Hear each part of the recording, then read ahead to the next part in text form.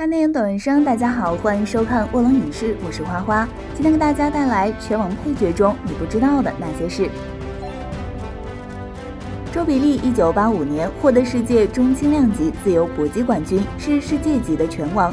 他在电影中打法硬朗干脆，力量明显强于一般动作演员，在精武英雄中的表演堪称杀人机器。比尼尤奎德兹。飞龙猛将中的 BOSS 级打手，获得过六项世界冠军。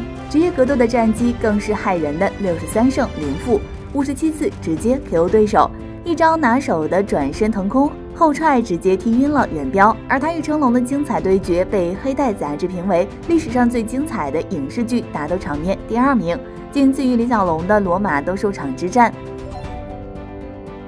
成龙电影中，但凡打戏，似乎就少不了卢慧光的出场。他曾连任1984年至1990年的七届泰拳冠军，在《醉拳二》中凭借出色的腿部功夫，技惊四座，一举成名。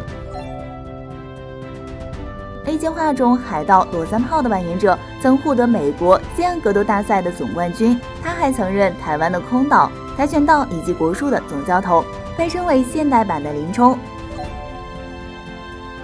在八十年代，三十五秒就 KO 日本选手的陈慧敏也是功夫傍身，但她出演的电影却异常低调，更多的是扮演老大这种动口不动手的角色，很少显露自己的真功夫。关于这样配角，你还知道哪些幕后故事呢？欢迎在评论区留言交流。最后小主别忘了关注点赞哦，下期再会。